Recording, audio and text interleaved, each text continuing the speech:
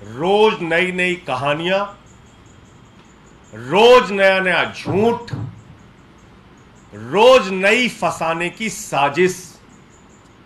भारत के प्रधानमंत्री नरेंद्र मोदी और अमित शाह के इशारे पर देश की दो सबसे बड़ी जाँच एजेंसी, ईडी और सीबीआई, इसका यही काम रह गया इसका मकसद कोई जाँच करना नहीं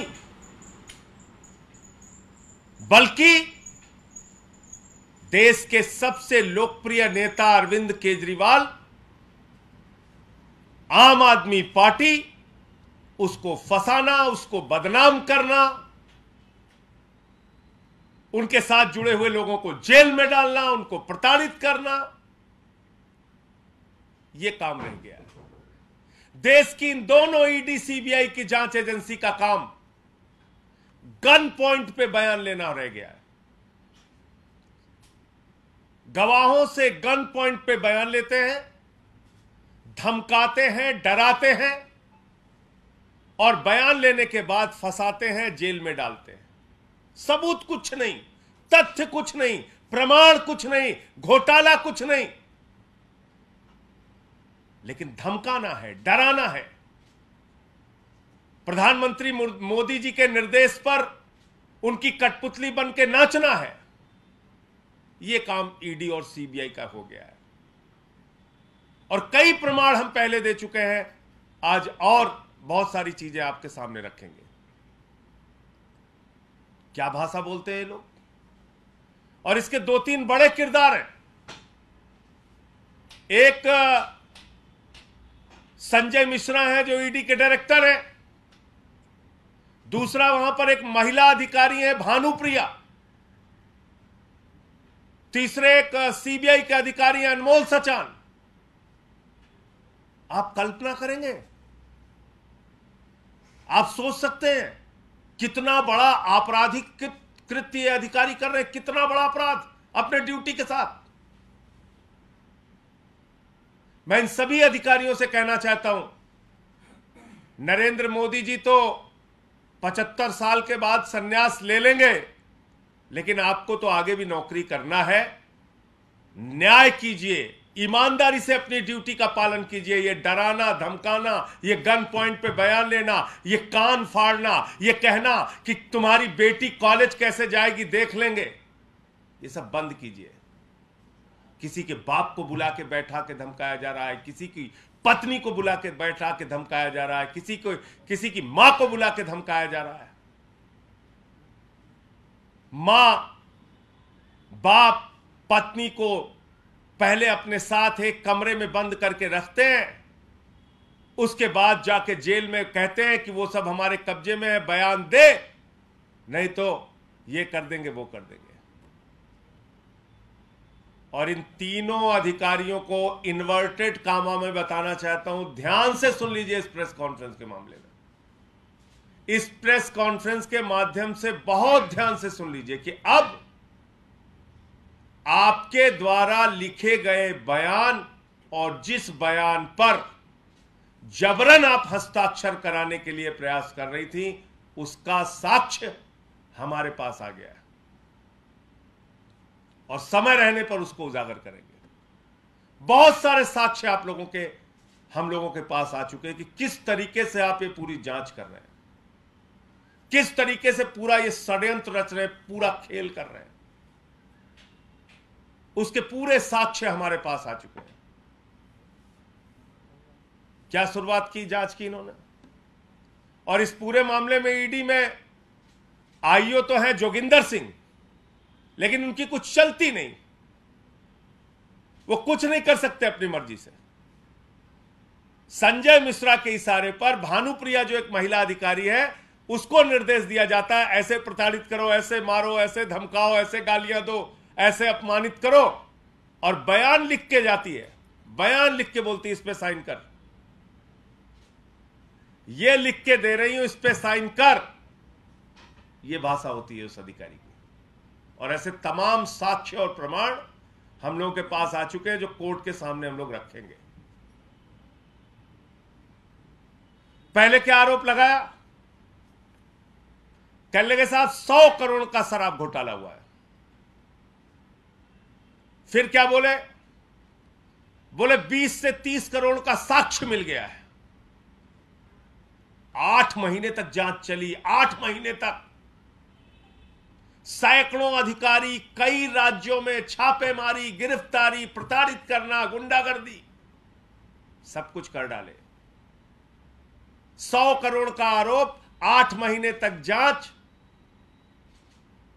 फिर उस सौ करोड़ के फिगर को बदल के बीस से तीस करोड़ रुपए कर देते हैं कि साहब, बीस से तीस करोड़ का साक्ष्य मिल गया। आठ महीने बाद कोर्ट ने पूछा, भाई, बीस तीस करोड़ का साक्ष्य कहाँ है? तो कहने लगे साहब छह लाख रुपए का साक्ष्य मज़ाक सुनिएगा आप। कह रहे हैं छह लाख रुपए का प्रमाण है। आरोप है सौ करोड़ का फिर आए बीस तीस करोड़ पे फिर प्रमाण दे रहे हैं छह लाख रुपए का। यह इनकी जाँच। यह इनकी नौटंकी यह इनका ड्रामेबाजी। अभी दो दिन पहले से क्या शुरू किया है?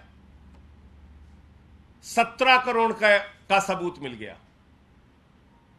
आप रोज नए ड्रामे कर रहे हो, रोज नया मज़ाक बना रहे हो आप, आपकी ईडी सीबीआई कोई जाँच एजेंसी है, या कॉमेडी कंपनी है? आपने इंटरटेनमेंट डिपार्टमेंट खोल रखा है। पहले कहोगे सौ करोड़ का घोटाला, फिर कहोगे बीस से तीस करोड़ का घोटाला, फिर कहोगे छह लाख का साक्ष फिर कहोगे सत्रह करोड़ का है। अब कुछ नहीं मिला तो अब सत्रह करोड़ का एक और मिला। इतना ही अगर अरविंद केजरीवाल और आम आदमी पार्टी से नफरत है तो मैं तो प्रपोजल दे चुका हूँ प्रधानमंत्री जी को कि किसी चौराहे पे खड़ा करके हम लोगों को तोप से उड़वा दीजिए। इतनी नफरत क्यों रखते हो भाई? कोई साक्ष्य नहीं मिल रहा। फिर दो दिन पहले से शुरू कर दी, सत्रह करोड़ सत्रह करोड़।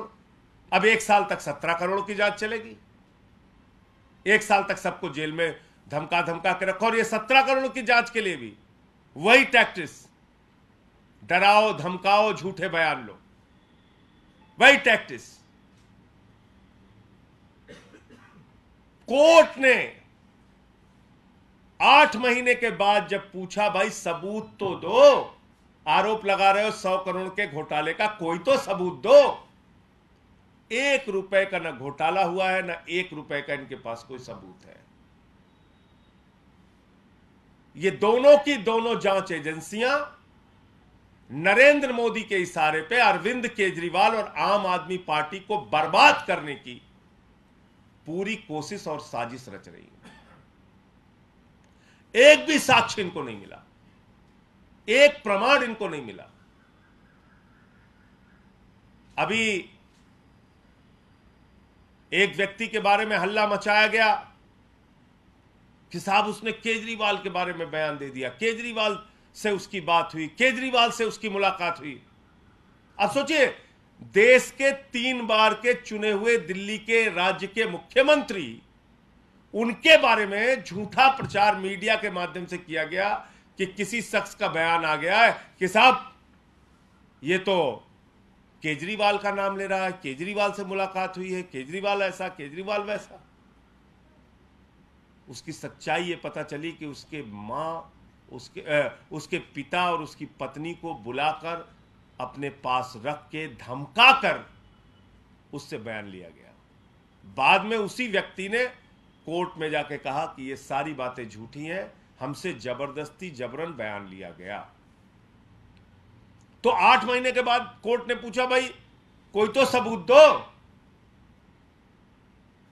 तो एक दूसरे का मुँह देखने लगे ईडी वाले सीबीआई का सीबीआई वाले ईडी का दोनों अपने आका मोदी को याद करने लगे और कहा, साहब, कोई सबूत नहीं है। तो राजेश जोशी को और गौतम मल्होत्रा को जमानत मिल जाती है। उसके बाद जब इनको फटकार लगी कोर्ट से, जब चारों तरफ़ थू थू होने लगी, बोले, अब तो चेहरा बहुत काला हो रहा है, कुछ तो करना पड़ेगा। परसों से सत्रह करोड़ की स्टोरी शुरू है। अब ये मनोहर कहानी एक साल तक छपेगी। बंद करो ये सब जाँच। बंद करो ये सब ड्रामे। और ईडी और सीबीआई के अधिकारियों से कहना चाहता हूँ, भानु प्रिया जी, अनमोल सचान जी, संजय मिश्रा जी, आप एक बड़ी नौकरी कर रहे हैं आईआरएस की नौकरी कर रहे हैं। आईएएस, आईआरएस, आईपीएस, ये देश की सबसे बड़ी नौकरी होती है गर्व करते हैं आपके बच्चे आपके ऊपर। आपका परिवार, आपका समाज कि कितनी बड़ी नौकरी हमारा बेटा या हमारी बेटी कर रहे हैं। और आप लोग ये काम कर रहे हैं, ये घिनौने कृत्य। एक अरविंद केजरीवाल और आम आदमी पार्टी को बदनाम करने के लिए ये सारी साजिशें, ये सारी चालें। अब मैं आपको अपने से संबंधित मामला बताता हूँ। इन्होंने गलती जो मानी और मुझसे कहा कि साहब, गलती हो गई थी, लिखना था राहुल सिंह, लिख दिया संजय सिंह। उस दिन भी मैंने कहा था कि भाई, अजय का संजय हो सकता है, विजय का संजय हो सकता है, राहुल का संजय कैसे हो गया? तो बोले, नहीं नहीं साहब, गलती हो गई और हमने न्यायालय को लिख कर दे दिया। कल वो पत्र हमारे हाथ में लगा, अभी आपको शेयर कर देंगे। इन्होंने एक नहीं तीन तीन जगह चार सीट में, पहली चार सीट में मेरा नाम गलती से लिखा। दूसरी चार सीट में मेरा नाम गलती से लिखा। तीसरी चार सीट में मेरा नाम गलती से लिखा। और जब मैंने डिफेमेशन का नोटिस भेजा, तब इन्होंने कोर्ट में ठीक किया। इसका मतलब प्रधानमंत्री और भारतीय जनता पार्टी के इशारे पर मुझे फर्जी फंसाने और जेल में डालने की गहरी साजिश इनकी थी। अगर मैं डिफेमेशन का नोटिस इनको नहीं भेजता तो ये मुझे निश्चित रूप से जेल में भेजते। आप सोचिए, एक मेंबर ऑफ़ पार्लियामेंट को पहली चार सीट में आप गल, गलत नाम लिखते हैं दूसरी चार सीट में गलत लिखते हैं तीसरी चार सीट और ये खुद मान रही है ईडी मैं नहीं कह रहा वो चिट्ठी भी आपको दे दूँगा। न्यायालय के सामने इन्होंने लिखा है कि साहब ये तीनों जगह हमसे गलती हो गई। अरे भाई गलती एक बार हो सकती है। और आपको मालूम है ईडी की जो चार्जशीट फ़ाइल होती है वो ऐसे हवा में नहीं होती। बार बार उसको पढ़ा जाता है चार बार पाँच बार उसकी रीडिंग की जाती है। और एक सांसद का नाम आप शामिल कर रहे हो। आपको पता नहीं चल रहा एक बार, दो बार, तीन बार आपने चार्जशीट फ़ाइल कर दी। आप मज़ाक कर रहे हैं। फिर अभी क्या किया इन्होंने ड्रामा? एक व्यक्ति को बेल पे बाहर लाए, जमानत पे उसको बाहर लेके आए। उस व्यक्ति के पहले के बहुत सारे बयान, उसमें कहीं कोई ज़िक्र नहीं। जो अभी का बयान, जब वो बाहर आता है उसके बाद का, उसमें फिर मुझे फंसाने की साजिश। उसकी पूरी जानकारी विस्तृत रूप से आगे आपको दूँगा। ये चल रहा है। ये जाँच है इनकी। तो इसलिए मैं ये कहना चाहता हूँ कि अब ये जो सत्रह करोड़ की नई मनोहर कहानियाँ शुरू हुई हैं, ये इस बात को साबित करती हैं कि ना तो ईडी के पास ना सीबीआई के पास एक पैसे का, एक रुपए का भी कोई भ्रष्टाचार का, कोई बेईमानी का, कोई घोटाले का सबूत नहीं है। शराब घोटाला, मनगढ़ंत फर्जी और झूठ का पुलिंदा है और उसके जो अधिकारी ईडी सीबीआई के हैं, ये भानुप्रिया, ये अनमोल सचान, ये संजय मिश्रा, ये सारे लोग प्रधानमंत्री नरेंद्र मोदी के इशारे पर, भारतीय जनता पार्टी के इशारे पर अरविंद केजरीवाल और आम आदमी पार्टी को बर्बाद करने की साजिश का हिस्सा है और इनसे जुड़े हुए सबूत अब हमारे पास हैं। वक्त आने पर देश के सामने इसको उजागर करेंगे। जैसे मेरे केस में सामने तथ्य आया, प्रमाण आया और इनको गलती माननी पड़ी, ऐसे ही बहुत सारे साक्ष्य और सामने आए हैं। वो भी आपके सामने समय आने पर रखेंगे। आप सबका धन्यवाद करते हुए मैं सिर्फ़ इतना कहना चाहूँगा कि जब भी इनकी कोई मनोहर कहानियाँ या झूठी कहानियाँ आपको मिले, कृपा करके उसको चलाने से पहले, उस पर कोई बयान देने से पहले, आप उसको जाँच लें, परख लें पूरा सच देख लें तब उसको सामने रखें तो मेरे ख्याल से ठीक रहेगा। आपका कोई प्रश्न पूछ सकते हैं।